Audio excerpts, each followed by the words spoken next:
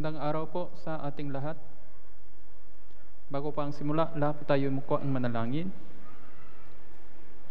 Mabaging aming dakilang amang Diyos na nagmamahal sa amin, maraming salamat po sa inyong pagbibigay ng oras na ito uh, upang makapag-aral ng inyong banal na salita. Dahil sa inyong dakilang pagkabay sa amin, kami po ay nagatipon sa oras na ito sa inyong harapan. Uh, dahil sa inyong dakilang biyaya, uh, kami po ay naligtas ng lubos. Dahil sa inyong patuloy na pagkabay sa amin, uh, kami po ay uh, manatili sa inyong maluwahating iglesia. Ngayon araw din po, dahil sa inyong biyaya lamang, kami po ay nakatipon sa lugar na ito. Kaya po, mula sa simula hanggang sa wakas, uh, gabayan niyo po kami sa oras na ito ayon sa inyong kalooban. Uh, nalaman po namin na inyong uh, ikalawang pagdating ay malalapit na. Kaya po, uh, paki uh, gabay niyo din po kami uh, upang ipangaral ng inyong ibanghelyo ng mabuti sa pamagitan ng kunting nalalabing uh, pamumuhay. Uh, bigyan mo kami ng inyong karunungan ang kalakasan uh, upang magampanan ang inyong mission para sa inyong kaluwahatian uh, at kasiyahan.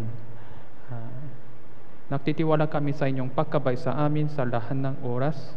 Uh, idinalangin namin ito sa pangalan ni Jesus Kristo, aming Panginoon. Amen. Ipo, buksan po natin ang Biblia, Mateo chapter 13.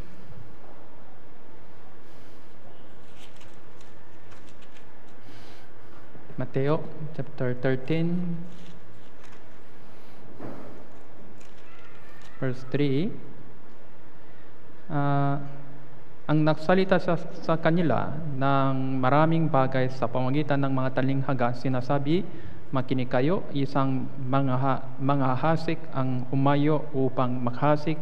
Habang siya'y nakahasik may mga pinhing nahulog sa tabing daan. Ang dumating ang mga ibon ang kanil, uh, kinain nila ang mga ito. Ang iba naman ay nahulog sa batuhan na doon ay kakaunti lamang ang lupa kaaga silang sumibor yamang hindi malalim ang lupa kaya paksikap ng araw ang mga yon ay natuyo dahil sa walang ugat ng ang mga yon ay tuluyang nalanta. Ang iba ay nahulog sa mga tinikan, lumaki ang mga tinik, sinakar ang mga yon. Ang iba ay nahulog sa mabuting lupa, namunga, iba ay isang, isang daan, ay iba ay anim na po, na iba ay tatlumpo. Ang mga may pandinig ay makinig. Uh, ngayon po ito uh, uh, tungkol sa taninghaga uh, ng makahasik. Hmm. Uh, uh, binabasa po natin yung ano uh, Matthew chapter 13 uh, pero meron din pong mga taninghaga tungkol sa mga hasik sa Marcos at Lucas Uh, ito pa ang taning haga. Ang mga pandinig ay makinig. Uh, ang mga may pandinig. Uh, ibig sabihin, ito po ay lalong-lalo na para sa mga uh, ligtas. Hmm. Uh, uh, na sinabi ng Panginoon Jesus uh, sa Marcos, ito po ay importanteng tanlinghaga. Importanteng tanlinghaga. Hmm? Uh, kung taninghagang ito, uh, ibig sabihin meron pong kahulugan. Uh, uh, paano natin malaman kung ano ang kahulugan nito? Sa pangitan ng interpretation. Uh, nasaan yung interpreta- interpretation? Uh, dito sa Bible pa. Sabi ng iba, uh, maraming interpretation daw. Uh, iba-iba daw yung interpretation po nila. Uh, pero uh, sa totoo lang, isa po ang interpretation. Bakit po? Kasi eh, nandito na uh, yung interpretation ng taninghagang ito. Yung ibang taninghaga din, mga symbol din sa Bible, uh, nasaan yung interpretation? Hindi kailangan hanapin yung iba't ibang interpretation sa ating sariling paraan. Uh, dahil inilagay ng Diyos yung interpretation dito sa Bible pa. Paminsan sa parehong chapter, paminsan sa ibang chapter, ibang libro. Uh, kaya po, uh, isa naman ang interpretation pala.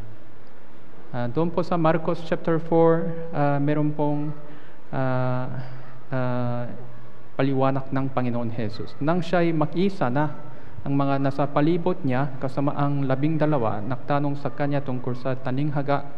Sinabi niya sa kanila, sa inyo ipinakaloob ang hiwaga ng kaharian ng Diyos, ngunit sa kanila nasa labas, uh, ang lahat ng mga bagay ginagawa sa mga talinghaga upang kung sa uh, paktingin ay hindi sila makakita sa pakikinig ay hindi sila makaunawa pagka sila ay magbalik loob mapatawad Sinabi niya sa kanila, hindi ba ninyo nalalaman ang talinghagang ito? Paano nga ninyo maunawan ang lahat ng mga talinghaga?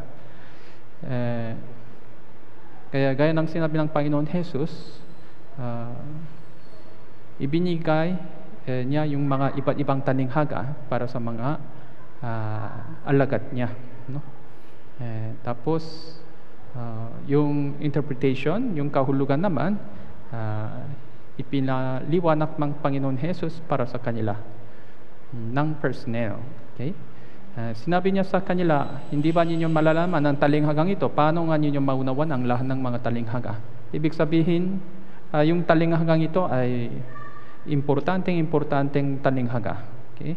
Na kailangan natin talagang maunawaan. Okay, verse 14, ang makahasik ay nakahasik ng salita. Ito ang mga nasa tabi ng daan na nahasikan ng salita ng kanilang mapakinggan ito. Agad dumating si Satanas, inagaw ang salita, inihasik sa kanila. Uh, ang nakahasik ay ay nakahasik ng uh, kanina binhi daw. Ano pang binhi? Uh, yung kahulugan ng binhi ay salita pala. And tapos uh, kanina uh, mo ibon ay dumating daw. Uh, yung ibon naman si Satanas pala. Uh, tapos inagaw ang salita, inahasik sa kanila. Hmm. Verse 16 naman, gayon din naman ang mga nahasik sa batuhan, nang marinig nila ang salita, agad nila itong tinanggap na may galak at hindi ito nakauga sa kanilang sarili, kundi panandal, uh, panandalian lamang. Kaya ang nang dumating ang kapighatian o pag-uusik dahil sa salita, kaagad silang tumalikod. Hmm? Uh, batuhan. Tapos kasunod naman, tinikan. Ang iba'y nahasik sa tinikan. Ang mga ito ay nakinig ng salita. Ngunit ang mga alalahanin ng sanibutan, ang pag-akin ng mga kayamanan, ang mga paknanasa sa iba't ibang bagay, ay pumasok, sinakar ang salitang ito, ang salita, at ito ay hindi nakapamunga. Yan. Ang mga ito ay nakasik sa mabuting lupa, narinig nila ang salita, tinanggap ito, namumunga ng 30 anin na pundisang daan. Eh, kaya po, uh, batuhan, tinikan, mabuting lupa, sa una po, uh, tabing daan, tabi ng daan. Apa ng klaseng lupa ng ito. Tapos, meron silang problema sa batuhan, uh, tinikan, hmm. Kayong pang sinabi ng Panginoon Jesus, ano pang problema? Kapighatian, yung pag-uusik, eh, tapos uh, alalahanin uh, ng sanibutan, paakit, ng kay, mga kayamanan. Eh, kaya, ibig sabihin, uh, ito pa ay nagiging hadalangan uh, para uh, makinig sila ng salita ng Diyos ng mabuti. No? Uh, yung pang ating, ito din po ating ano, experience, uh, lalong-lalo na habang Bible seminar. Yung mga invite natin, uh, hindi sila tuloy, kahit tuloy sila, parang tuloy-tuloy po sila, uh, parang hindi pa sila malinaw. Hmm? uh, ano pang problema. Uh, kaya para sa ating uh, ministry, uh, kailangan natin maunawan ang talinghagang ito ng mabuti. Uh, kaya sabi ng Panginoon, paano nga ninyo maunawan ang lahat ng mga talinghagang ito uh, kung hindi pa ninyo malalaman ang talinghagang ito. Okay? Uh, kaya po, uh, Marcos chapter 4, Lucas chapter 8, meron pong mga uh, interpretation ng Panginoon Jesus ng detalyado tungkol sa taninghagang ito, ang maghahasik ay nakahasik ng salita. Gaya ng binabasa po natin kanina. Uh, uh, ngayon, ito ang taninghaga, ang binihay salita ng uh, Diyos. Ang binhi ay salita ng Diyos. Kaya yung binhi po, ano po ito? Salita ng Diyos. Yung binhi naman po, oh, malit naman siya, pero sa loob ng binhi, meron pong uh, buhay. Know? meron pong malaking punong kahoy. No? Gaya ng alam nyo, yung uh, sequoia uh, Sequoia Park, yung Sequoia tree, ay maata, ah, malaki siya. Pero yung binhi niya ay maliit naman. Hmm? Maliit siya. Pero sa loob ng maliit na binhi, inilagay ng Diyos ay higanteng puno. Hmm. Kaya unang Pedro chapter 1 verse 23, ipinanganak ng kayong muli, hindi ng binhing nasisira, kundi ang walang kasirahan, sa pangitan ng buhay ay manatiling salita ng Diyos.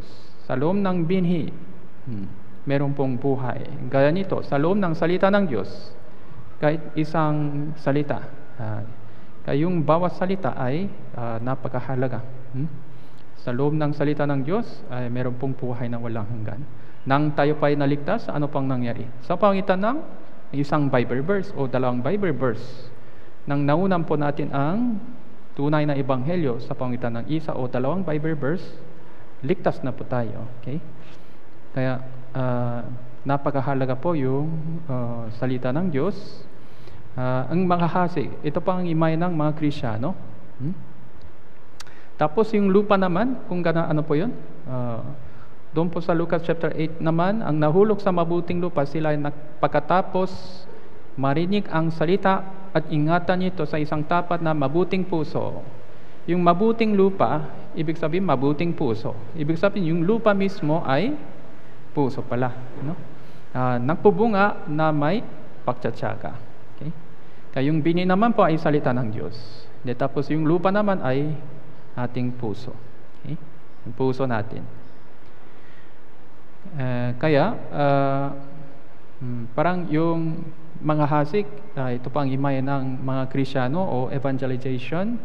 Tapos, yung lupa naman, mga uh, invite natin, yung puso ng mga invite natin.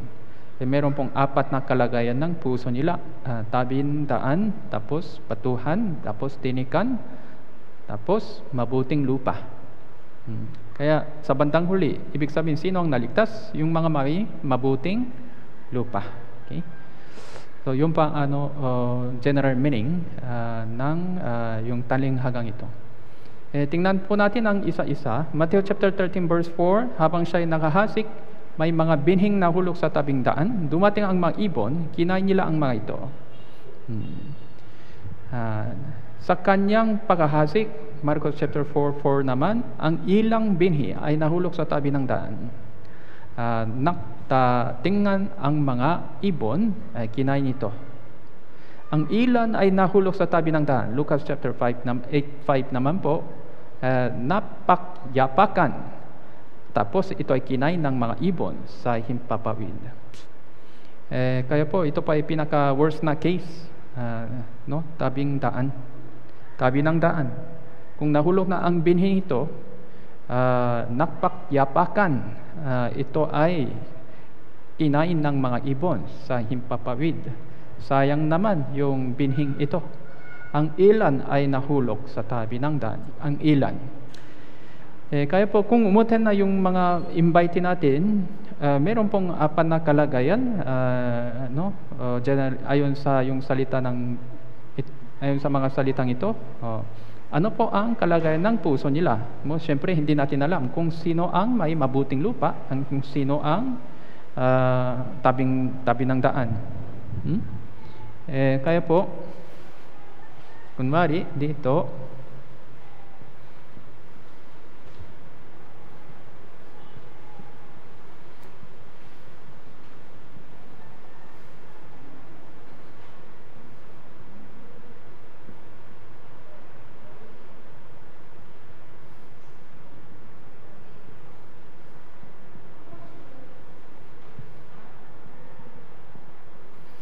Mm-hmm. Meron pong apat na tao. Ito pang invite ninyo, kunwari. Sino ang may mabuting lupa?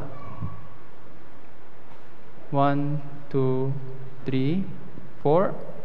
Hmm? Okay. Tingnan nyo po. Sino ang may mabuting lupa? Ah, siguro number two. No? Kasi mabay siya. No? Ito mabuting lupa. Ha? Sino ang tabing daan? Nasa tabing daan? Ito yata, no? Medyo, mukhang ano, makulit talaga. Tabing daan. Number three naman po, parang ano po, uh, mo tama lang. Siguro, tama lang. Hmm. Eh, pero mukhang konting ano, uh, konting iba yata. Siguro batuhan yata, bato. May bato yata. Ito naman, tinikan, siguro. Hmm, tinikan. Basta ito pang mabuting lupa. Uh, gaya ng pinarampo natin, ang Diyos ay tumitingin sa, ang tao ay tumitingin sa panlabas na anyo, pero ang Diyos tumitingin sa puso ng tao. Kaya hindi natin alam. Hmm. Sa totoo lang. Kaya pagkatapos ng Bible seminar, malalaman natin na uh, ito pala ang tabing daan. No? Bakit po? Ah, uh, INC pala, Iglesia ni Cristo. Hmm? De tapos, ito pala ang mabuting lupa. Sa bandang huli, number one, siya pang naligtas. Hmm. Ito naman, ano, tinikan pala. Ito naman, batuan pala. Ah. Kaya po, hindi natin alam talaga kung anong totoong kalagayan ng puso ng mga bawat tao. Tama po? Hmm. Eh, kaya kailangan yung ano po, conversation, kailangan yung observation. Uh, kasi kung tinitingnan natin ang panlabas na anyo nila, uh, mabait naman siya, uh, pero pinakamatigas pala ito. Uh, Uh, ganito po. Kaya kung nahulok na yung ano, yung salita ng Diyos sa tabing daan, eh, paminsan kahit hindi INC, kahit ano po, uh, mga mayabang, uh, mukhang mabay siya, pero sa totoo lang, uh, mayabang siya. No? Kung ganon, ay pare-parehas naman, uh, sige, next time, busy ako. Uh, pagkatapos ng seminar mo, pagkatapos ng ilang session, nawala na po sila. Hmm? Uh, ang ilan ay nahulog sa tabi ng daan, nakpak-yapakan. Ito ay kinain ng mga ibon sa himpapawid. Yung ibon naman, kanina, ano po yun? Uh, kaya ito po ang uh, interpretation. Kung ang sino man nakikinig ng salita ng kaharian, hindi ninyo ito inuunawa, dahil ang tigas na yung puso nila, darating ang masama uh, gawin ang naihasik sa kanyang puso, ito ay naihisa, naihasik sa tabing daan. E, yung ibon naman sa himpapawid, ano po, ito pang imahe ng masama. Uh, sa ibang ibang chapter, ano po, si Satanas, ang Diablo. Uh, uh, siya po ang uh,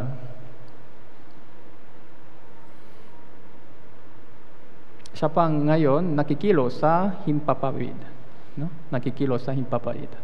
Kaya sabi ng Biblia, siya pang pinuno ng kapangyarihan ng himpapawid. Hmm? Prince of the power of the air. Sino po? Yung si Satanas at tapos yung grupo nila, yung masasama, yung masamang espiritu. Kaya kung may Bible seminar, tinitingnan nila. De tapos, kung meron pong tabing daan, eh, ano daw? inagaw ang salita mula sa kanilang mga puso. Oh, Lucas chapter 8 verse 12 naman upang hindi sila sumasampalataya at maligtas. Eh, kaya kahit umaten sila sa Bible seminar minsan hmm, pagkatapos ng seminar uh, hindi pa sila ligtas, bigla uh, tapos nawawala nawala po sila. Bakit po ganon? Ibig sabihin yung puso nila medyo ano, talagang hindi pa handa. Hmm? Hindi pa handa. Eh, kaya, uh, pagkatapos ng seminar, uh, pagkatapos ng seminar, biglang, uh, pagkatapos ng seminar, walang natitira sa kanilang puso. Hmm? Eh, kaya po, uh, paminsan, yung isang seminar ay hindi sapat. No? Uh, isang seminar ay hindi sapat. Itepende sa kanilang uh, puso. Uh, kaya pagkatapos ng isang seminar, kahit sabi nila, okay na daw, mo ganun daw, mapare-parehas daw.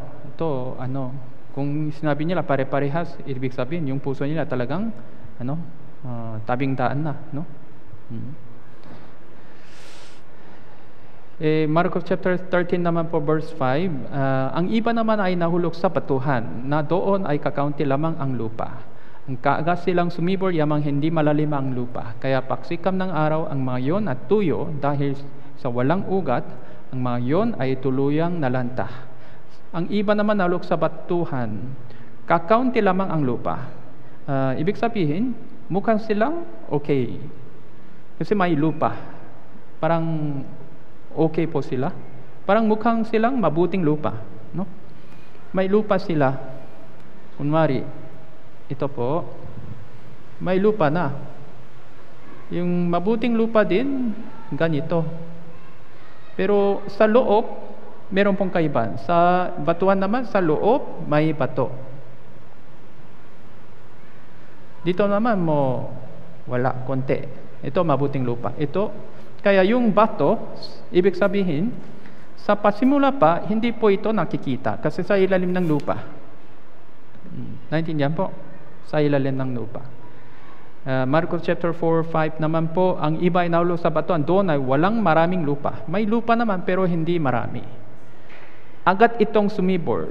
Kaya dahil sa lupa, agad itong sumibor, hindi malalim ang lupa, dahil hindi malalim ang lupa, nang sumikat ang araw, nainitan ito dahil sa walang ugat, ito ay natuyo.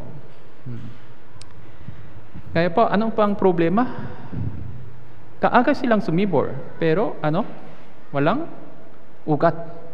Kaya ito ay natuyo. Ito ay natuyo. Eh, kaya po, ito pa ang interpretation ng Panginoon Jesus. Ang napahasi sa mga batuan, yon nakikinig ng salita, agad niyang tinatanggap ito na may kagalakan. Ang ganda yung Bible seminar. Very good daw. Nang nakita nila yung mga ebidensya, ah, detalyado daw. Very good. Gayon man, hindi siya nakaugat.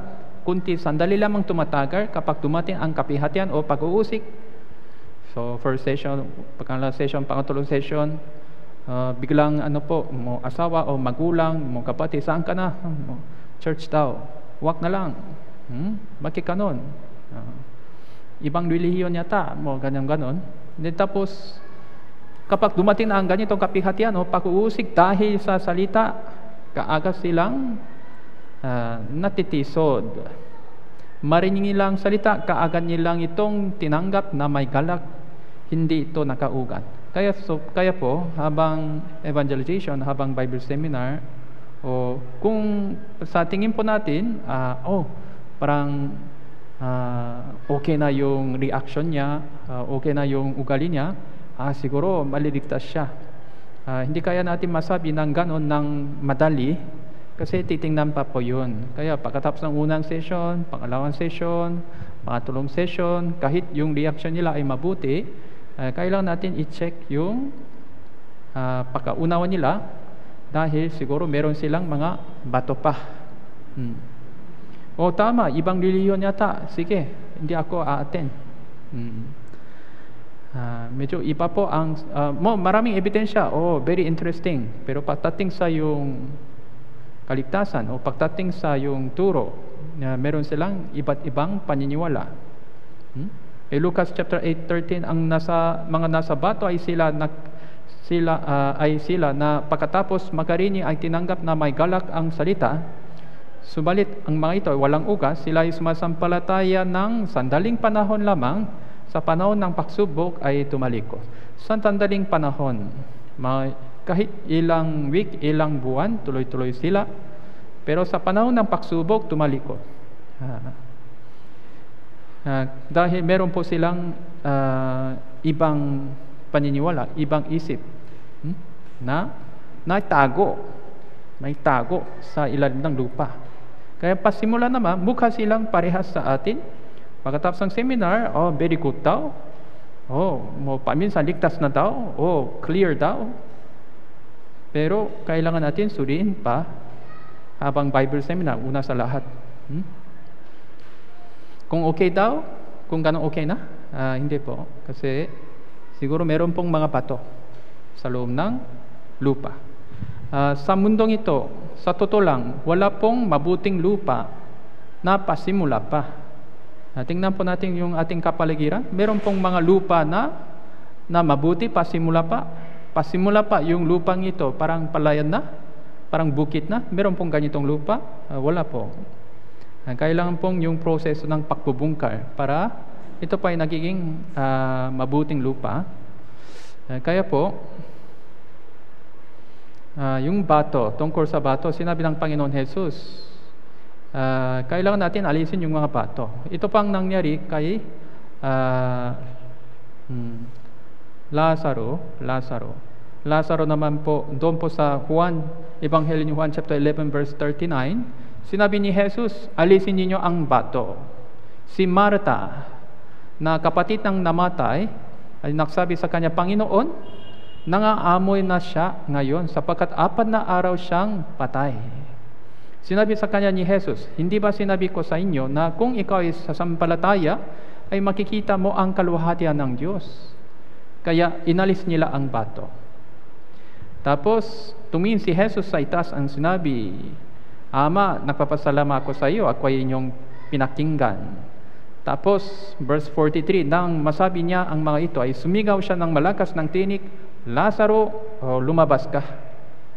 Then, ang taong may patay, ang taong napatay ay lumabas. Si Lazaro ay lumabas. Ang mga kamay, ang mga paa ay natatalian ng mga telang panibing. Ah, ang kanyang mukha ay may balot na tela. Kaya si siya ay inyong kal- kalagan, hayan, hayan ninyong makaalis. Kay Lazaro, lumabas ka.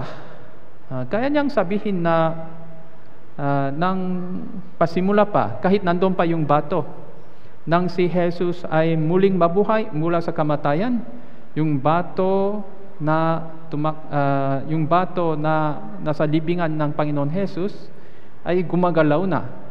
Ay, Ginagalaw ng Diyos ang batong ito. Sa totoo lang, hindi kailangan tulong ng mga iba kasi ang Diyos ay makapangyarihan. Si Jesus ang makapangyarihan. Eh, sa pangitan ng kanyang salita lang, pwedeng itong alisin. Ano po, yung batong ito, malaking bato na ito, panglibingan. Pero ano po ang kalooban ng Diyos? Alisin nyo ang batong ito. Hmm. Kaya sinabi ni Marta, ay, takal na po ito. Apat na araw na siyang namatay, kaya kung inalis nyo ang batong ito, mga amoy na po. Pero sabi ng Panginoon ni Jesus, hindi ba sinabi ko sa iyo, kung ikaw ay sasampalataya, makikita mo ang kaluhatian ng Diyos. Hmm. Kaya inalis nila ang bato. Kaya yung pag-alis ng mga bato, eh, ito, ito pa ang trabaho po natin. Trabaho po natin. Kaya sa lupa, meron din pong mga bato. Dahil ito pang naging hadlangan para sila pa nalik, ah, maligtas. Kaya sino ang dapat nakapag-alis ng mga batong ito? Ah, yung naunang ligtas, yung pang evangelization, no? Yung pang evangelization. Eh, paano po sa pangitan ng ano po, conversation, sa pangitan ng ano counseling, ah, eh, kaya dahil meron silang iba't ibang ah, paniniwala. Okay? So kunwari po, meron pong ganitong kaso, ah, ito pang nangyari habang counseling, ah, kung makagawa tayo ng kasalanan sa hinarap pa ulit, ah, saan po tayo makapunta? Sabi niya, sa langit po kasi tinubos na tayo ni Heso Kristo. Ah, dito sa screen po, ano? Ah, pero kanina sinabi niyo sa impyerno, ah, tama po, ako po alam ko na, ah, ligtas na po ako, alam ko na ligtas na ako, yung nakasulat sa Bible, naligtas na po tayo ng Panginoon. Pero kung hindi po tayo maniwala sa Kanya, ah, maano po tayo sa impyerno, kaya lagi po tayong manalik kasi kapag hindi po tayo manalik sa Kanya, kunwari, namatay ako ngayon, meron po tayong hukom, mag-ano po tayo sa hukom, kung pupunta ba tayo sa impyerno o pupunta tayo sa langit. Ibig sabihin, ligtas na daw siya. Pero, hindi pa sigurado sa bandang huli. Bakit po? Pagkatapos ng kamatayan, kung pupunta siya sa, ah, no, kung nakapasok siya sa hukuman, ah, doon sa hukuman, nalalaman niya daw kung saan siya pupunta. Ah, pero kung araw-araw kang magdarasal, araw-araw kung humingi ng pasensya ng Panginoon, ah, ano po, kung ganon, maaari ah, siyang pupunta sa langit. Ah, kaya yung kasunod na tanong naman, kung ganon, kayo naman po, manalik, manalik pa kayo ng Panginoon ng palagi. Sabi niya, hindi naman po. Pero kapag kailan ng talaga natin Panginoon nang humingi ng tawad, humingi siya ng, sa Kanya, kukunin po tayo ng Panginoon. Kaya sabi po, kanina 50-50. Kasi alam ko na po, ligtas na ako. Pero pagdating mo sa hukom, hindi po natin alam kung mapupunta po tayo sa langit o hindi, parang ganun po. Kaya sa susunod na tanong naman, ibig sabihin nyo, bahala ang Diyos sa hukuman? pagkatapos ng kamatayan. Ah, yes po. Eh, ano po ito? Ligtas na po siya o hindi pa? Hindi pa siya ligtas. No? Ah, ibig sabihin, meron siyang kanyang sariling pag-unawa. Hmm? Eh, kailangan itong ayusin sa pamagitan ng ah, patuloy na Bible study. Ah, kaya po, pasimula naman dito. Sa langit po, kasi tinubos na tayo ni Jesus. Kung ganun, mukha silang ligtas. Pero sa pamagitan ng patuloy na conversation, check-up, check-up pa ulit, malalaman po natin na meron pa silang bato na inahasan po nila. Hindi binhi, bato. Akala nila, binhi na ito, ah, pero bato lang ito na walang buhay. Hmm? Eh, kaya, kailangan natin ah, gabayan ah, mga kaluluwa para makapag-alis yung mga bato, yung iba't ibang ah, pakunawa o maling paniniwala hmm, para sila po ay naging handa para tanggapin ang salita ng Diyos. Eh, tapos kasunod naman, kaya ah, tinikan. Ang iba ay naulo sa mga tinikan. Lumaki ang tinik, sinakal ang mga yon.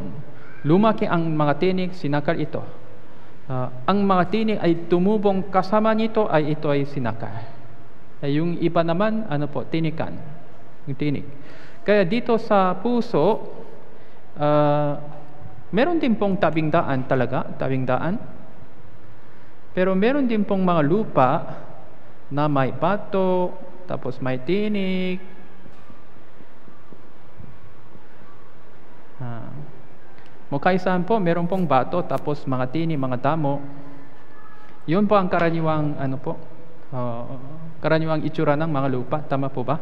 Gaya nito, yung, yung pang nangyari dahil sa kasalanan ah, ng ah, ni Adam, ah, ng pagkatapos sila ay nakasala, isinumpa ng Diyos ang mundong ito, ang lupa. Ay yung tinik, duwa, kung hindi ka magtrabaho, kung wala kang pa, ah, kung hindi sa pamitan ng pawis, ah, walang pagkain. Hmm, Sinabi ng Diyos. Ah, kaya ito pang imay ng yung ating ah, kalagayan. Kalagayan ng makasalanan. Hmm, Yung kalagayan ng puso ng isang makasalanan. May tinik sila, may bato.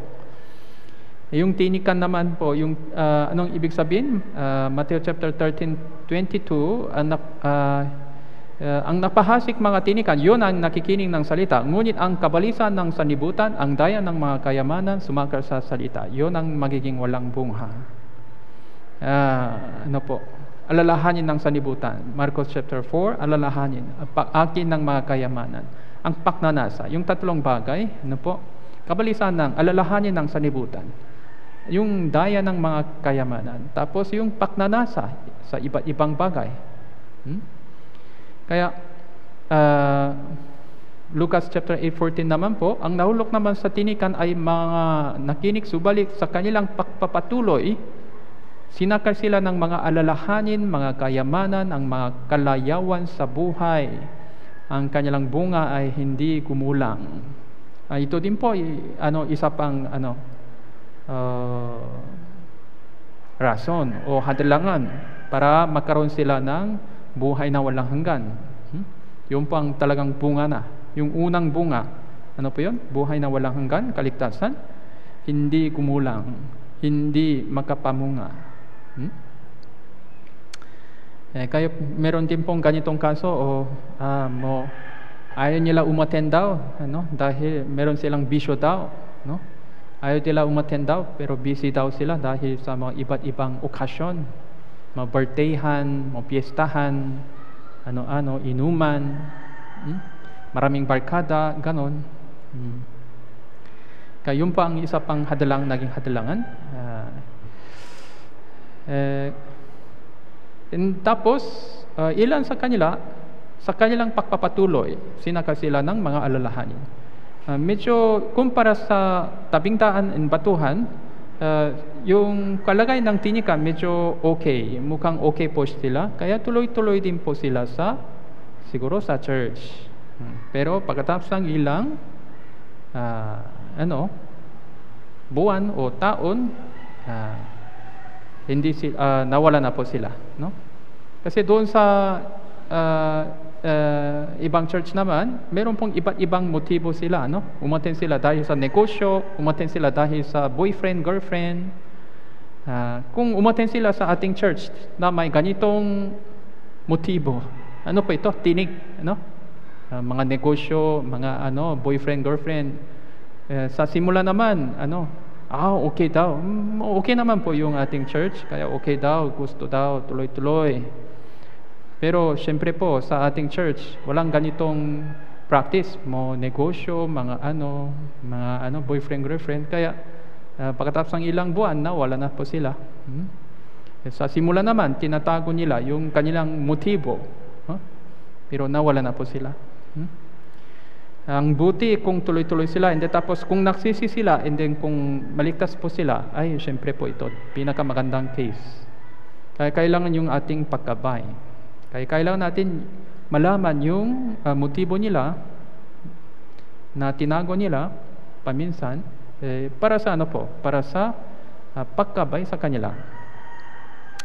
Eh, kaya ayon sa yung sinabi ng verse na ito, kung tingnan po natin, kung i-summarize natin yung tatlong cases na ganito, ng kanilang mapakinggan ito, agad dumating si Satanas, inagaw ang salita, inihasik sa kanila. Ano po ito? Tabing daan. Ah, ito pa ang pinaka ano po, worst na case. Kaagad, mo paminsan, pagkatap, habang Bible seminar, nawala na po sila. And, to, uh, and tapos, pagkatapos ng seminar, nawala na po sila. Walang natitira sa kanila. Walang natitira sa kanila. Mag, sa ilang araw siguro, masabi nila, ligtas na tao. Oo, sige, ligtas na ako. Oo, malinaw. Okay na, okay na. Ah, pero busy na ako ngayon. Parang gano'n. No? Hmm.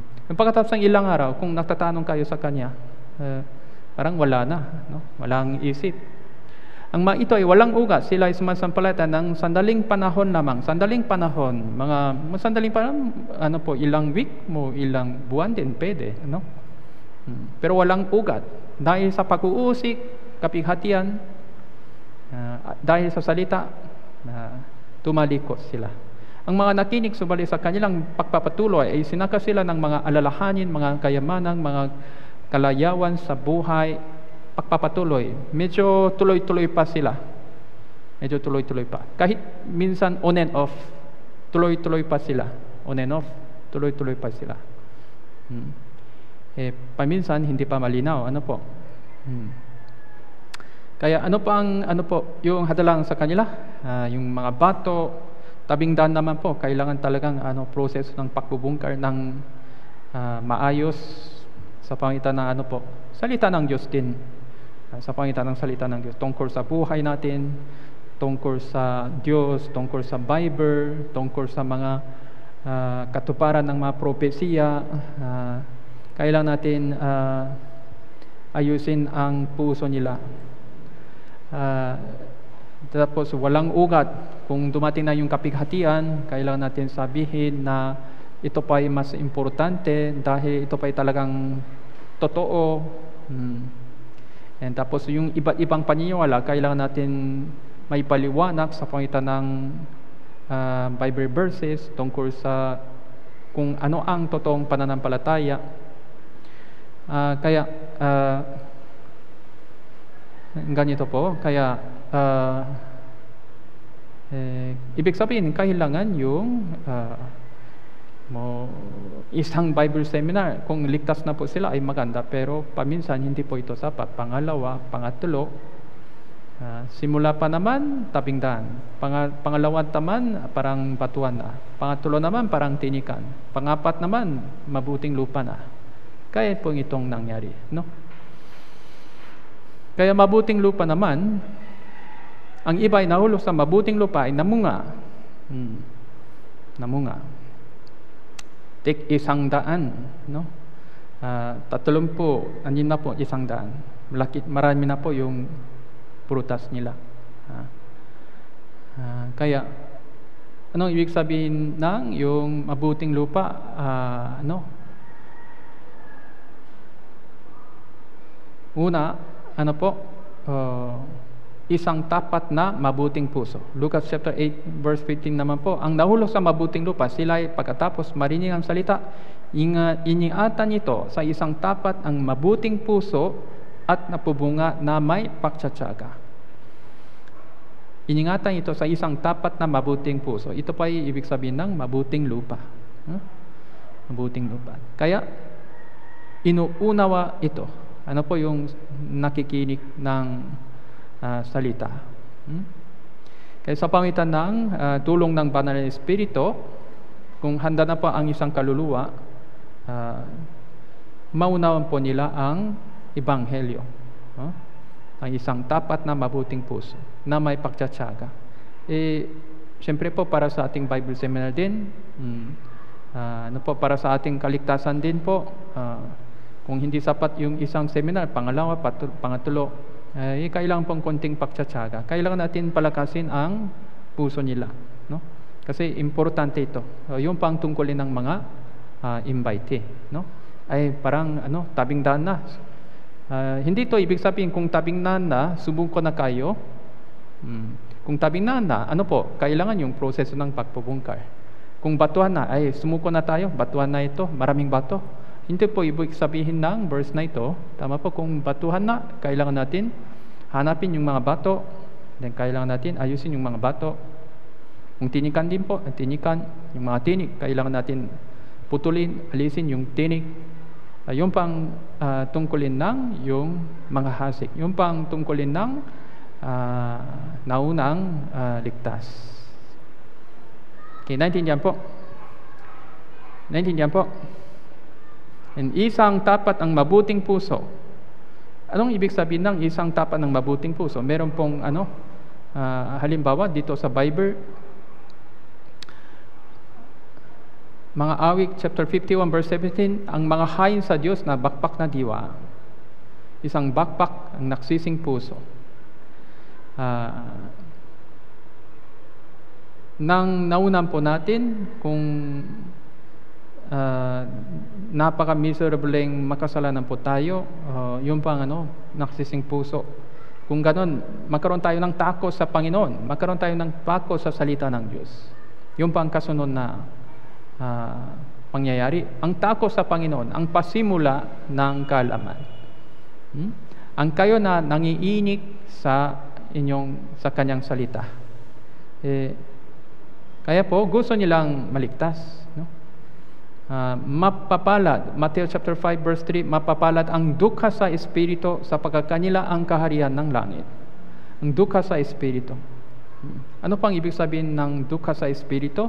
Uh, kung naunan po natin na talaga tayo pa ay miserableng makasalanan, ibig sabihin tayo pa ay dukha sa espiritu. Hmm? Eh, kaya pagkatapos ng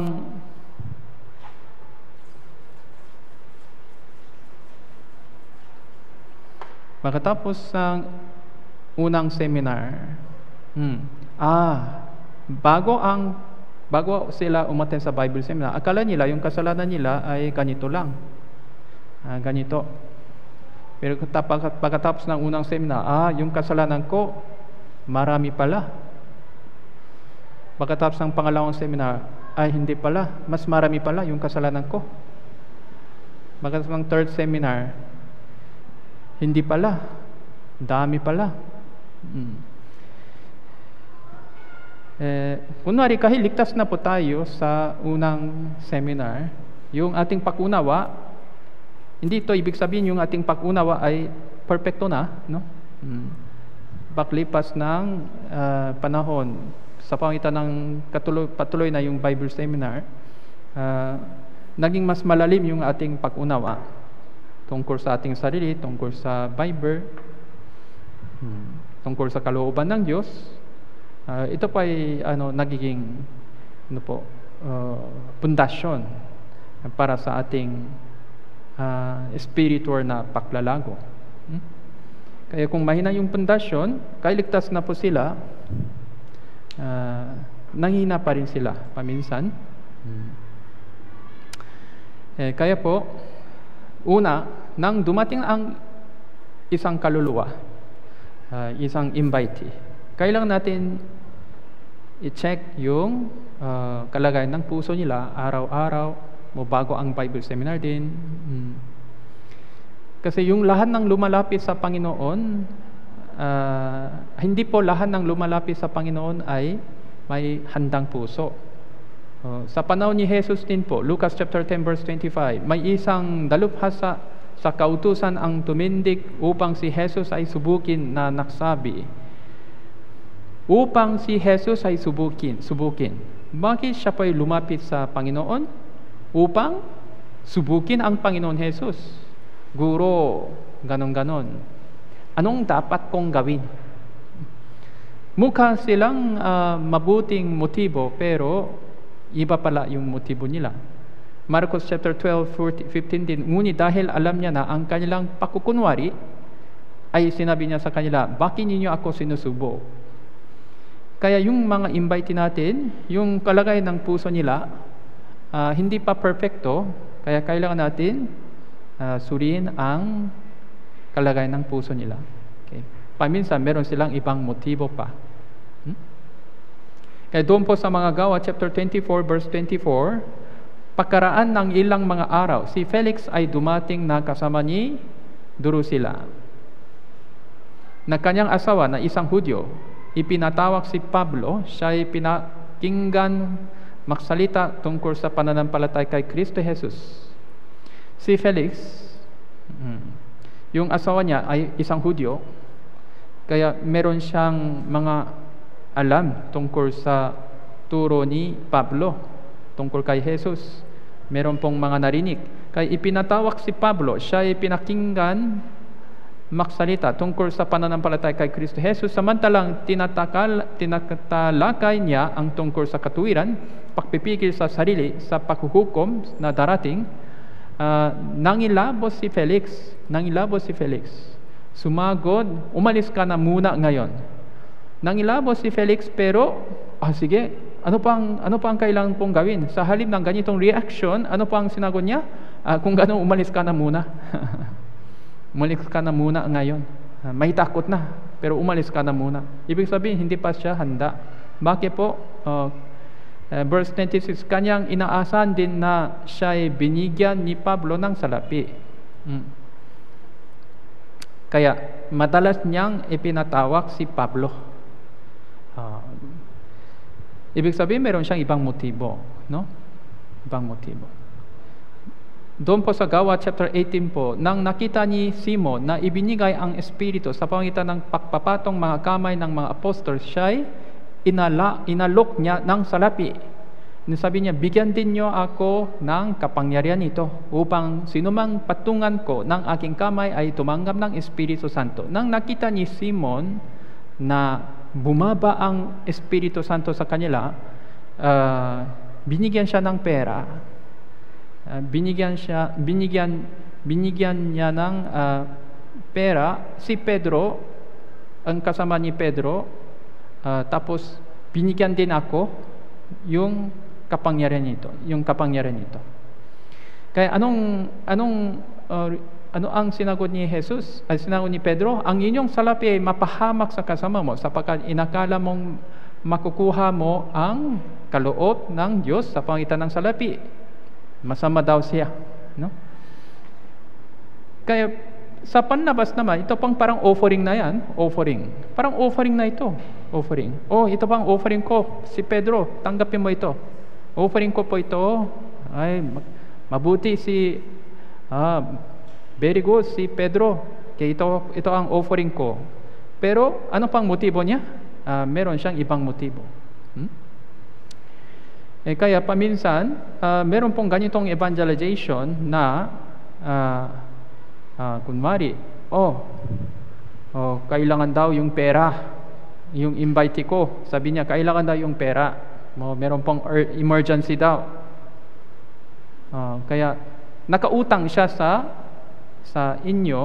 Hmm?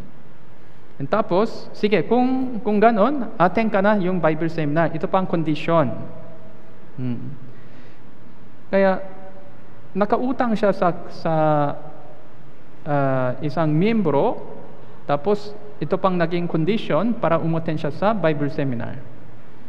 Ah, ito, maganda, maganda po ba ito? Magandang paraan po ba ito? Dati narinig ko din po ganito, uh, meron pong mga uh, upahan. Upahan. No? Parang ito pang pwesto daw, mga upahan dito. Uh, mga mga mga grocery, grocery store, parang gano'n. Yung may-ari naman ay uh, kapatiran para. Kapatiran pala, yung miyembro pala. And tapos yung mga nakaupa sa kanya, uh, ini-invite niya. Uh, kung gusto niyong tuloy-tuloy dito, attend ka na ng, attend ka na ng Bible seminar. Hmm. Uh, kaya sa sa ating puso, syempre, gusto kung gusto naming mag-evangelize yung mga kaluluwa. Pero kung ganitong sa pangitan ng ganitong paraan, uh, hindi kaya nilang maligtas kasi yung puso nila ay hindi pa handa. No? Hmm. Kahit umaten sila sa Bible seminar, yung puso naman nila ay taping daan naman. Hmm? Eh, kaya sa halin ng ganitong paraan, ano po, anong, anong sinabi ng Bible? Uh, yung proseso ng pagpupungkal, yung pang importante. Uh, dapat meron po tayong conversation tungkol sa pananampalataya, tungkol sa faith, uh, tungkol sa buhay, Ah, okay, so I will give I will give money. Attend ka na yung Bible seminar. Hindi po ito evangelization. Tama po ba? Hmm. Eh, kaya Matthew chapter 10 verse 16, ngayon, sinusugo ko kayong tulad ng mga tupa sa gina ng mga asong gubad. Sinusugo ko kayong tulad ng mga tupa. Ano po ito? Ligtas. Sa gina ng mga asong gubad. Kaya, maging matalinong kayo kayong gaya ng mga ahas at maamong gaya ng mga kalapati. Ngayon para sa ating ministry, meron pong dalawang bahagi na sinabi ng Panginoon Jesus. Maging matalino po kayo gaya ng mga ahas at tapos maging maamong kayo gaya ng mga kalapati. Yung malinis na pamumuhay, hindi tapos yung mga karunungan. Hmm. Kay si ano, si yung si Satanas, uh, lumalapit siya sa kay Eva. Sa pamitan ng ahas, ginagamit ni Satanas yung ahas upang lumapit kay Eva. Hindi siya lumapit, hindi siya pumunta kay Adam nang nauna. Yung pinili niya ay hindi Adam, kundi si Eva, no? Tama po. Kaya meron siyang mga proseso. Kasi po si kay si Eva ay mas madali sa kanya. Kaya tinutukso ni Satanas si Eva muna sa pamagitan ng ahas. Uh, siguro yung ahas naman po, yung itsura ng ahas ay iba naman kaysa ngayon. Siguro si ahas po, siya po ang isa sa uh, parang best friend kay Eva. Uh, kaya po, ginaga, ginagamit niya yung ahas upang lumapit kay Eva sa halip ni Adam. Eh, kaya po yung kasi alam ni alam ni Satanas yung kalagayan ng yung condition ng puso nila, no? Si Adam naman talagang uh, malakas pa yung espiritu niya, yung pananampalataya niya. Si Eva naman medyo ano po uh, mahina pa siya. Uh, ganito po sa ating ministry din, uh, kailangan natin suriin yung kalagayan ng yung puso nila uh, para gabayan sila ng mabuti. Uh, yun pang ating uh, trabaho. Kaya Isaiah chapter 40 verse 3, ang tining ng isang sumisigaw, ihanda ninyo sa ilang ang daan ng Panginoon. Ito pang propesiya tungkol kay uh, John Baptist. Hmm? Isinugo ng Diyos si John Baptist upang ihanda ang daan ng Panginoon. Jesus, ihanda ninyo uh, ang daan ng Panginoon, tuwiran ninyo ang kanyang mga landas. Uh, baka bawat libis ay matataas, bawat buntok, buror, mababata, mabababa, ang mga buk, buk, bako-bako ay matutuwid, ang mga hindi pantay ay nadako ay mapapatak, uh, upang ihanda ang daan sa unahan ko ang Panginoon na inyong hinahanap. Hmm. Ah, kaya, ah, yung tungkulin ng John Baptist ay napakahalaga. Eh, gaya nito, yung tungkulin ng ah, naunang ligtas ay mahalaga po sa bawat ah, kaluluwa. Hmm. Lucas chapter 1 naman po, meron pong mensahe tungkol kay John Baptist. Yung pangalan niya ay naging Juan daw. Tapos, ah, sapagkat siya ay magiging dakila sa harapan ng Panginoon, hindi siya iinom ng alak o matapang na inuman, siya ay mapupuno ng Espiritu Santo. Ah, kaya paano tayo nagiging mabuting kasangkapan ng Diyos? Dapat tayo po ay nagiging ano po, malinis na kasangkapan ng Diyos. Hmm? Yung mga makamundong bagay, dapat tayo po ay humihiwalay and siya ay mapupuno ng Espiritu Santo. Uh, gaya ng pinaroto po natin tuwing Wednesday, ah, eh, kaya yung yung ministry din ay importante pero yung ating sariling kalagayan din po ay mahalaga. Ah, dapat tayo po ay nagiging malinis na kasangkapan. Ah, kaya kung naunang ligtas ay hindi malinis sa kanilang buhay, kung kung ang naunang ligtas, yung pananampalataya ng naunang ligtas ay hindi maayos, hmm, kunwari hindi sila palaging silang absent, fellowship, hindi sila ah, binab- ah, hindi sila nakabasa ng Bible, kung ganun paano sila makapag-evangelize ng ibang kaluluwa. Hmm? Kaya unang, ikalang Timoteo chapter 2, verse 21, kung nilinis ng sinuman ang kanyang sarili mula sa mga bagay na ito, magiging tanging kagamitan. Itinalaga ang mahalaga may, ah, sa may-ari ng bahay, handa sa lahat ng mabubuting gawa. Handa sa lahat ng mabubuting gawa.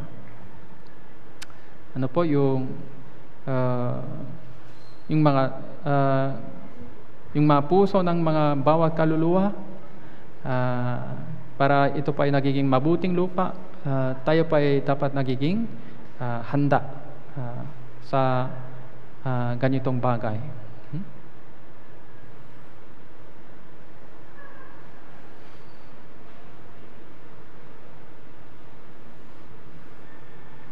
Eh, kaya po, ah, ngayon, ah, ikalawang Timoteo chapter 4 verse 2, buksan po natin ang Biblia. Ikalawang Timoteo chapter 2, chapter 4 verse 2.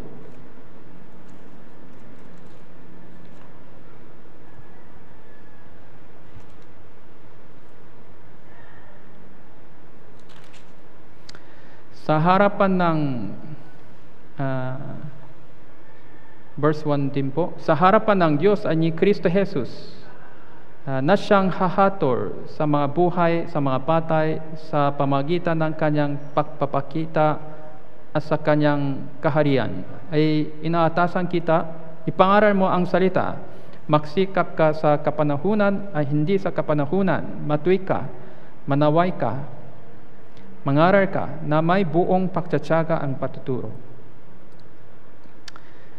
Ah, ipangaral mo ang salita. Ito pang utos ng Diyos. Magsikap ka sa kapanahunan, hindi kapanahunan.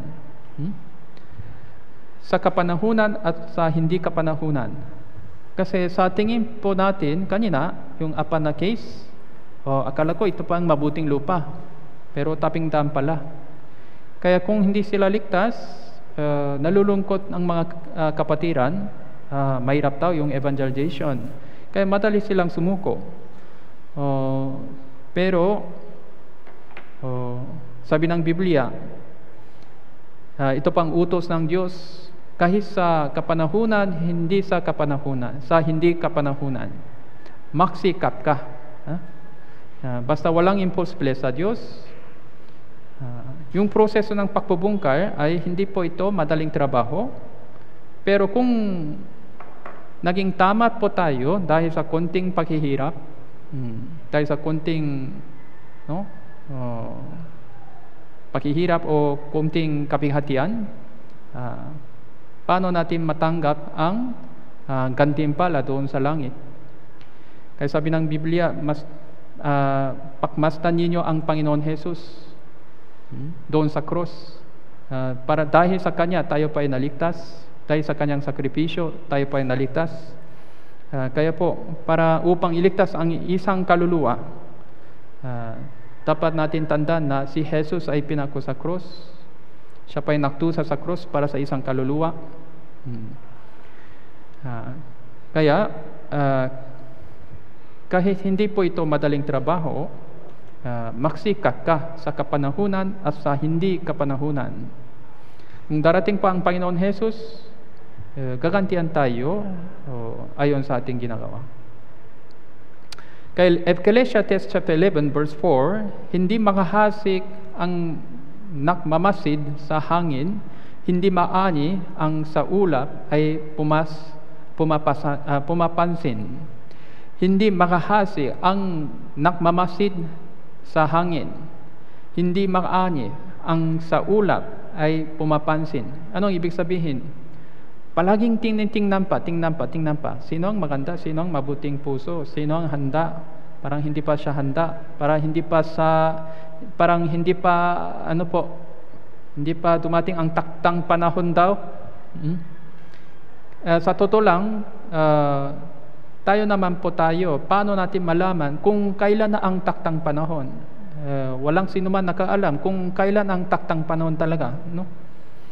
Uh, kaya, uh, kailangan natin baguhin yung ating isip na ganito. Ihasik mo sa umaga ang inyong binhi. Ecclesiastes chapter 11 verse 6. Huwag mong hayanang walang ginagawa ang inyong kamay sa hapon sapagkat hindi mo nalalaman kung alin ang tutubo kung ito, ito o yun o kung kapwa magiging mabuti. Hindi natin malalaman kung alin ang tutubo. Kung alin ang tutubo. Eh, kaya po,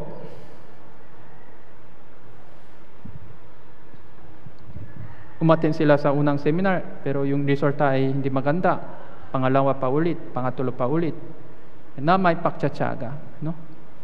Uh, ito pa ang ano, uh, ibig sabihin, tanlinghaga ng makahasik.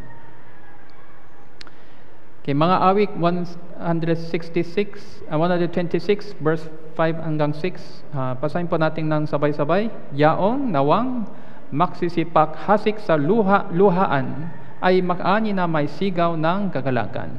Siyang lumabal, lumalabas na umiiyak na may dalang itatanim na mga binhi ay uwi na may sigaw ng kagalakan na dala ang kanyang mga bikis ng inani. Yung yaong nawang masisipak hasik na luhaan, hmm? luhaan na may luha, uh, dahil sa kaluluwang ito, uh, ay makani na may sigaw ng kagalakan.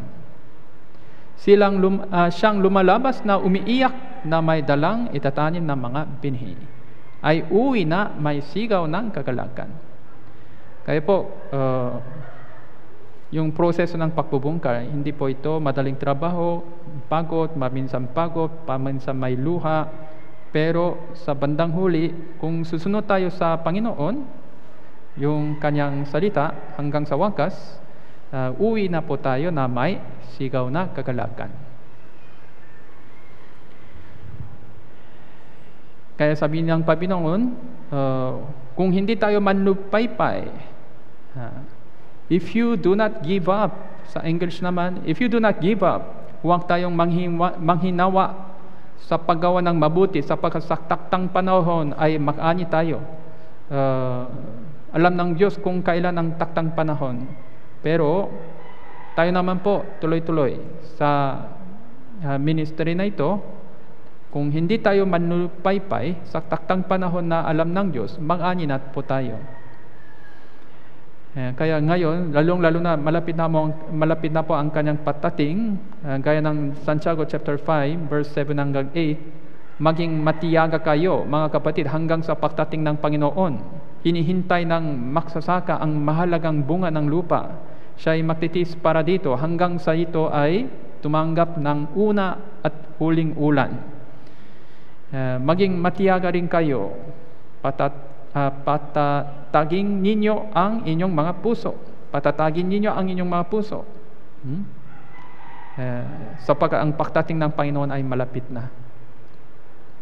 Eh, sabi ng isang uh, kapatiran na ah, matigas daw ang puso nila dahil siguro malapit na ang kanyang pagtating. Tama po. Kasi kung malapit ang ayon sa sinabi ng ayon sa sabi uh, sina, uh, propesya ng Bible, kung malalapit na ang pagkatapusan ng panahon, naging mas matigas ang puso ng mga tao. Uh, pero walang impossible sa Diyos. Meron pong mga uh, kaluluwa na nakahanap ng katotohanan pa, kaya uh, maging matiyagak rin kayo patatagin ninyo ang inyong mga puso. Uh, ito pa ang pangako ng Diyos. Uh, ito pa ang salita ng Diyos. Ito po ang binhi para sa ating puso. Uh, meron po tayong ating puso. Yung uh, talinghaga ng mahasi, uh, hindi ito po, hindi naman ito kay, uh, kayang isabuhay para sa hindi ligtas, kundi pati sa ating sarili din po. No? Uh, kung meron po tayong handang puso, uh, nakubunga tayo ng marami. No? Eh, kaya Lucas chapter 21 naman, verse 34, Subalit manginga kayo sa inyong sarili din, pagka magumon ang inyong mga puso sa katakawan, sa kalaksingan, sa mga alalahanin ukol sa buhay na ito.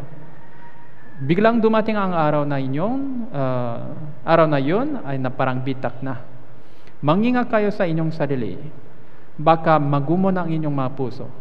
Uh, yung puso natin din ay, ito din po ay isa pang naihasik naihasikan. Hmm? Yung salita ng Diyos, kung tinanggap natin yung salita na may buong puso, uh, magbubunga tayo ng marami. Hmm? Kaya, uh, kay ligtas na po tayo. Ibig sabihin, and hindi ito ibig sabihin sa loob nating puso, walang bato, walang tinig. Kaya tuloy-tuloy pa yon yung ano po, yung process ng pagbubungkar. Mag, uh, Hebrew chapter 3 verse 13, uh, magpayuhan kayo sa isa-isa araw-araw habang ito ay tinatawag na ngayon upang walang sino man sa iyo ang pak, uh, papakmatigasin ng pagiging madaya ng kasalanan. Kaya naging mas malakas ang tukso ni Satanas sa katapusan ng panahon. Kaya mangingat tayo sa ating sarili. Uh, suriin po natin yung ating puso palagi. Na kaya kung nakita natin yung mga alalahanin ukol sa buhay, no? Uh, mga katakawan, yung paknanasa. Kaya unang Petro chapter 5 verse 7, basahin po natin ng sabay-sabay. Ilagak ninyo sa kanya ang lahat ng inyong kabalisahan sapagkat siya'y mak, uh, nakmamalasakit sa inyo. Ilagak ninyo ang sa kanya ang lahat ng inyong kabalisahan. Paano? Paano po? Hayan muna, parang ganon. Hindi. Huwag kayong mabalisa sa anumang bagay, kundi sa lahat ng mga bagay, Pilipos chapter 4, verse 6, sa pamagitan ng panalangin, paksa mo na may pagpapasalamat, ipaalam ninyo ang inyong mga kahilingan sa Diyos. Kung ganon, ang kapayapaan ng Diyos hindi maabot ng pag-iisip, ng mag-ingat ng inyong mga puso, mga pag-iisip kay Kristo Jesus. Uh, kundi sa lahat ng bagay, sa pangitan ng panalangin, hmm, ipaalam ninyo ang inyong kahilingan sa Diyos. Hmm? Yung pa ang pangako ng Diyos. Eh, kaya, Matthew chapter 6, sabi ng Panginoon Jesus, tingnan nyo ang mga ibon sa himpapawid. Hindi sila nakahasik o gumagapas o nakimbak man sa mga kamalik. Ngunit, pinapakain sila ng inyong ama na nasa langit. Hindi ba higit na mas mahalaga kayo na mahalaga kayo kaysa kanila? Hmm? Tingnan nyo ang mga ibon sa himpapawid.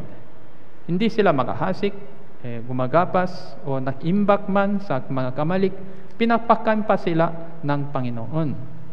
Kaya tayo naman mas mahalaga daw kaysa kanila. Okay. Eh, kaya po, uh, yung alalahan yung ukol sa buhay, kasalanan po ito. No? Hmm. Kaya Matthew chapter 6 verse 31, hu, kaya huwag kayong mabalisa o na magsasabing ano ang aming kakainin o ano ang aming iinumin, ano ang aming isusuot sapagkat hinahanap ng mga hente ang mga lahat ng bagay na ito, bati ng inyong mga ama sa langit na kailangan ninyong ang lahat ng mga bagay na ito. Ngunit hanapin muna ninyo ang inyong uh, hanapin muna ninyo ang kanyang kaharian, ang kanyang katuwiran, ang lahat ng mga bagay na ito, bawang idrakta sa inyo. Kaya hanapin mo muna Hanapin mo muna ang kanyang kaharian. Tingnan nyo ang mga ibon sa himpapawid. Uh, hindi sinabi ng Bible na hindi kailangan trabaho, kailangan po yung trabaho. Kasi sabi ng Panginoon, tingnan nyo ang ibon, mga ibon sa higaan. Hindi. Tingnan nyo ang mga ibon sa himpapawid. Ah, lumilipas siya. No? Hmm.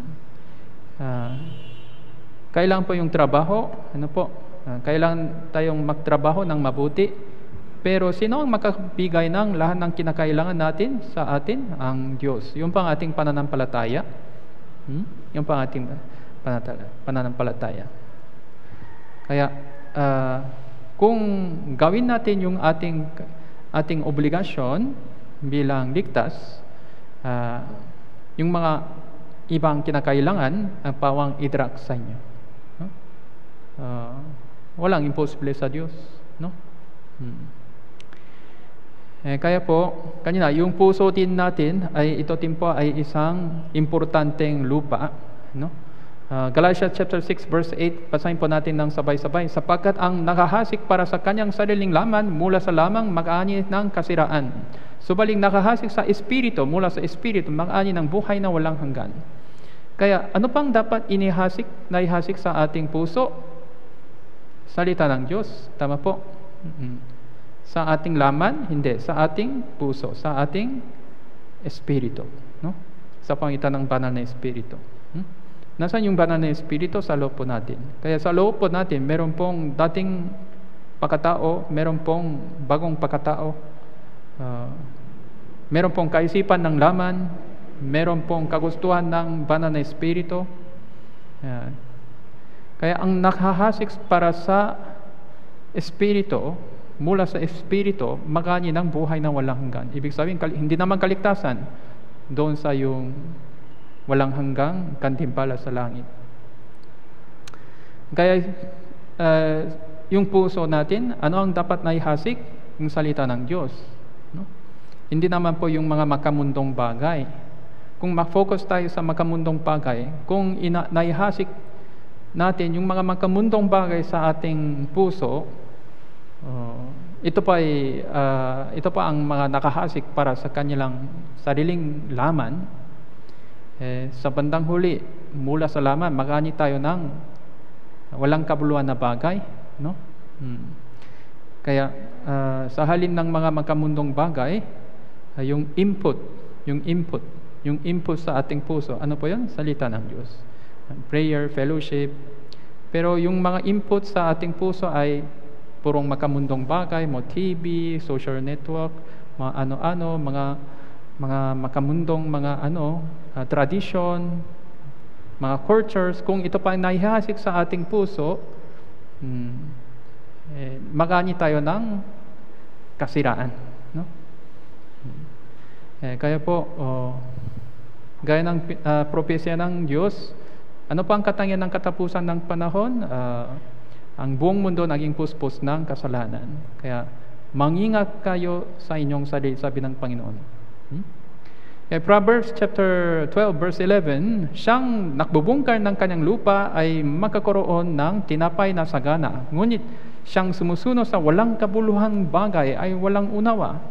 Siyang nakbubungkar ng kanyang lupa ay magkaroon ng tinapay sa sagana. Araw-araw. Yung lupa, yung puso natin, tapos yung puso ng iba, ang binubungkal ng lupa ng dukha ay maraming pagkain ibinibigay.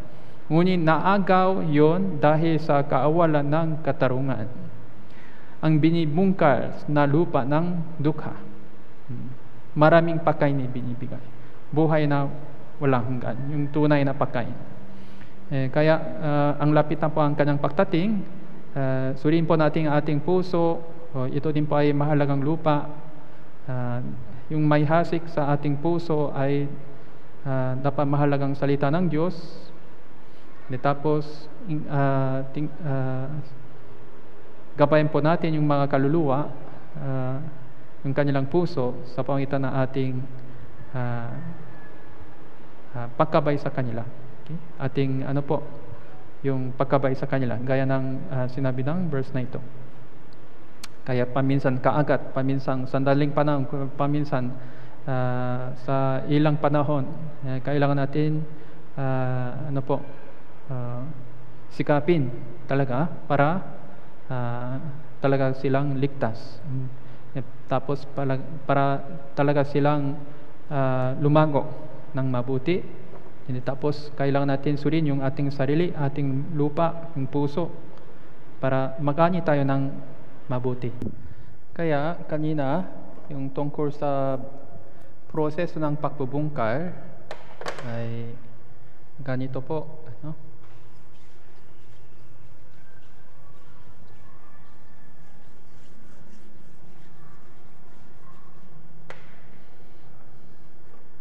Ah, meron pong, kunwari, yung Bible seminar, meron pong limang session. Hanggang sa session 4, ah, ito pa ang process ng pagbubungkay, no? Sabi ng Panginoon, ah, repent and believe. Yung ito pa ay process ng pagbubungkay para sa pagsisisi nila. Hmm? Kaya pagkatapos ng session 4, Ah, kailangan check up yung pagkakaintindihan nila ah, para malaman po natin na kung handa na po sila para sa gospel o hindi, no? Kaya paano po? Ah, kunwari, pagkatapos ng seminar, ah, saan kayo makapunta? Sa langit o impyerno? Naunan niyo po ba? Opo. Malinaw? Opo. Saan kayo makapunta? Sa langit o impyerno? Paminsan, kahit pagkatapos ng session 4, sa langit pa rin daw. Mga, mga 10%. Sabi nila, mga 10% plus minus. Sabi nila, "Ah, sa lang, siguro sa langit. Ah, kasi naniniwala ko sa Diyos. Ah, kung ganun talaga, ano po, kailangan ano po, ipaliwanag pa ulit. Ah, mula sa simula pa, unti-unti. Then mga 90% sabi nila, ah, impyerno po. Meron ba tayong kasalanan? Oh, meron. Marami pala. Impyerno po, sabi nila. Kaya akala natin na handa na sila, pero meron pong dalawang kaso na ito. Oh. Kung ganon, para para makapunta tayo sa langit, kung para maliligtas po tayo sa maliligtas po tayo, ano pa ang kailangan nating gawin? Ah, kung magtatanong tayo sa kanila paulit, ah, ah, para para sa ating kaligtasan, kailangan po yung gawa, sabi nila. Ano, mabuting gawa, kailangan tao. Ah, sa kanila, mga mga 80%. Sabi nila, kailangan gawa, mo prayer, ano-ano, meron silang kanyang-kanyang sariling solution. Ito, meron silang kanyang-kanyang sariling paniniwala. Ano po ito? Bato pala ito, bato. No? Bato. Yun pang hinahawakan pa rin nila. No? Ano pang hinahawakan? Hindi binhi yung bato. Hmm. Mga 20% ah, talagang ah, wala na. Wala na daw. Yung walang magagawa. Yan ang mga 20%. Eh, masabi natin na sila pang parang medyo may handang puso. Okay? Kaya kung ganon, ah, ah, yung gawa, kanina, sabi niya, ah, ligtas na daw tayo. Ligtas na po ako, kaya nang nakasulat sa Bible. Pero sa hukom, sa hukuman, ibig sabihin, pagkatapos ng huk- kamatayan, ah, kung nasa hukuman mo, hukuman po tayo, hahatulan tayo ng Diyos. Ah, kung ganon, kung hindi po tayo manalik sa Panginoon palagi, eh, hindi natin alam daw kung saan tayo makapunta. Ano po? Ano ang hinahawakan nila? Gawa pala. Uh, tapos, uh, eh, ano pang maling pakunawa nila? Uh, yung mga tunay ligtas naman, uh, hindi papasok sa uh, hindi nakapasok sa hukuman ng Diyos. Kasi yung mga nasa listahan ng librong buhay, hindi hahatulan ng Diyos. Yun din po ang kulang sa Kanya. Basta yung hinahawakan niya ay gawa pa. No, prayer daw, ano, confession daw, confession. Ito ang hinahawakan nila. Kaya hell daw, pero meron pa rin pong isa pang problema, ano, yung hinahawakan nila, yung iba't ibang paniniwala. Kaya kailangan natin paliwanag, indo, hindi po ito uh, katanggap-tanggap sa Diyos. Eh, wala na. Ito po ang parang handang puso. Kaya 90 times 20%, mga 80%. Eh, tapos, mga mga 82%, no? Ah, 92%. Ay, 82%. Sila po ay kailangan proseso ng pakbubungkar. Pagkatapos ng session 4 pa. Eh, sa pamitan ng counseling, ano, sa pamitan ng conversation, kailangan natin ayusin yung medyo malambot na kung tapos na yung session ah, apat na session. Kaya, pero kailangan yung ah, suriin yung ah, kalagayan ng puso nila. Tapos, kung handa na po sila, uh, masabi natin na medyo handa na yung puso nila. Okay, hanggang dito po, uh, manalangin po tayo. Mabaging aming dakilang amang Diyos na nakmamahal sa amin, maraming salamat po sa inyong pagbibigay ng oras na ito upang makapaaral ng inyong banal na salita. Ah, sa pangitan ng talinghaga ng magahasik, mauna po natin na kung ano po ang proseso ng pagbubungkal, ano po ang proseso para sa ah, ministry po natin. Uh, pakitulungan niyo po kami upang bungkalin yung ating puso din ng mabuti sa pamagitan ng inyong banal na salita para magbunga tayo ng ah, marami para sa inyong kaluwalhatian. Idinalangin namin ito ng, ng idinalangin namin ito sa pangalan ng Panginoon Hesus, yung aming tagapaligtas. Amen.